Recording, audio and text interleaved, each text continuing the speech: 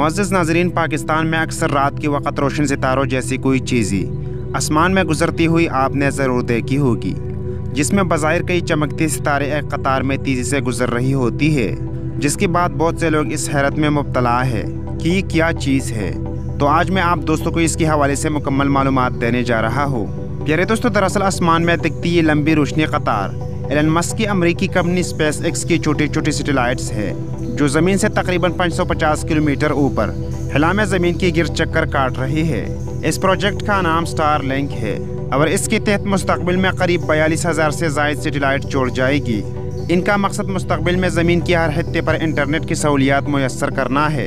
इस वक्त star link satellite बाईस सौ से ज़्यादा हिला में मौजूद है और ये बहुत से सेटेलाइट एक दूसरे की आगे पीछे ट्रेन की सूरत में घूमती है। ये सेटेलाइट तकरीबन तीन से सात मीटर लंबी और एक इशारिया पाँच से तीन मीटर चौड़ी है, मगर इनकी सोलर पैनल हिला में जाने के बाद खुलती है।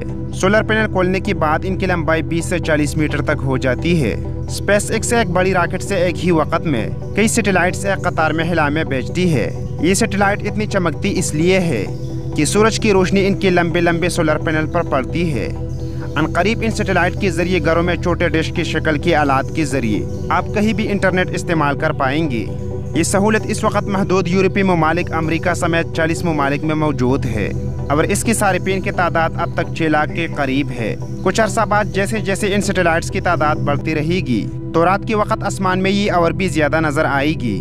तो प्यारे दोस्तों, ये थी वो मालूम जिसके बारे में बहुत से लोग नहीं जानते थे। इस प्रोजेक्ट के बारे में जानकर आपको कैसा लगा? कमेंट करके हमें ज़रूर बताइए।